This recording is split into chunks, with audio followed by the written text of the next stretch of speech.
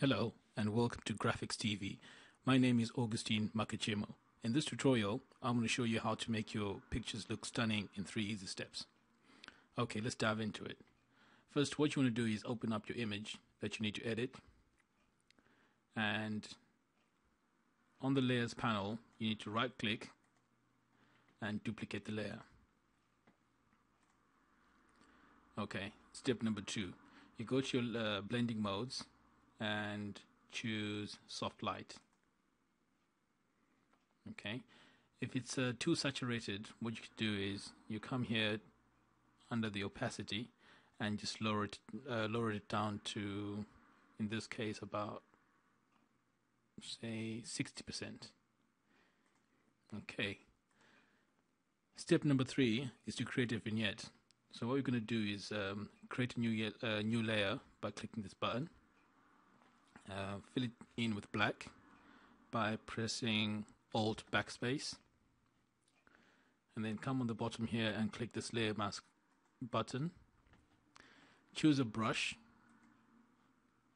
And um, we need to increase the size of the brush by pressing the um, the bracket keys.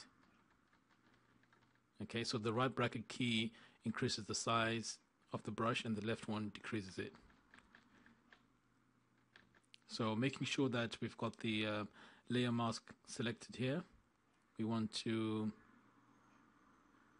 click once. And we can see the changes already. Now we need to click uh, a few more times.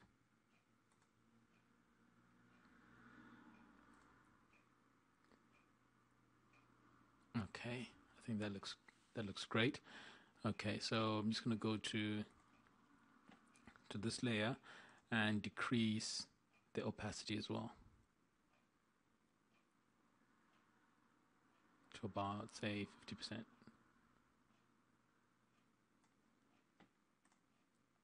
okay so let's have a look at the before and after.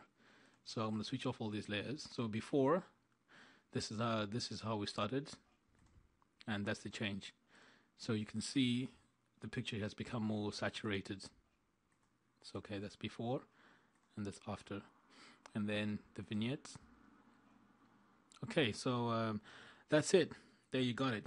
So visit www.grafx.tv for more videos or follow me on Twitter for um, episode updates. All right, thanks for watching.